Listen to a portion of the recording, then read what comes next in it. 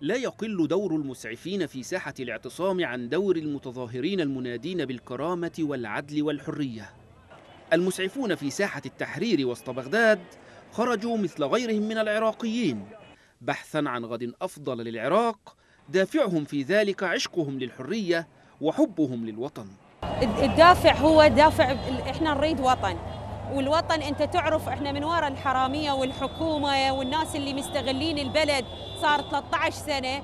إحنا كل شيء ما نحصل. شبابنا بلا وظائف مستقبل ماكو الخدمات ماكو. يعني أبد بلد يعني يعني بلدنا مو بلد بسبب الناس الحرامية.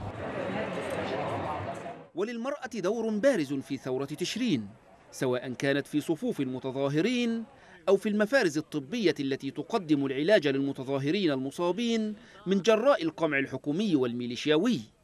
وإن زعم بعضهم أن المرأة عورة ولا ينبغي لها المشاركة في الحراك. المرأة مو عورة بالعكس هي ثورة. هنا وإلها صوت وإلها كيان. بالعكس هواية نسوان.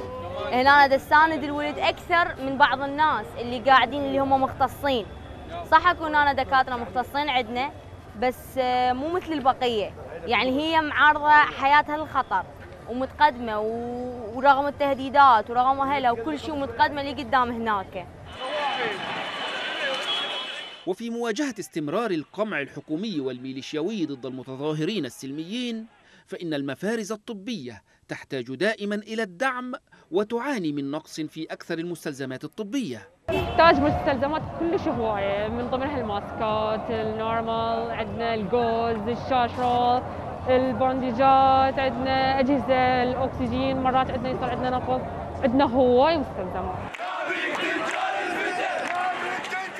هي الثورة إذن حين تتحول من مجرد تظاهرات عفوية إلى صورة مصغرة لوطن يحلم به الثوار. وطن ينتصر فيه المظلوم ويعالج فيه الجريح ويعان فيه الفقير.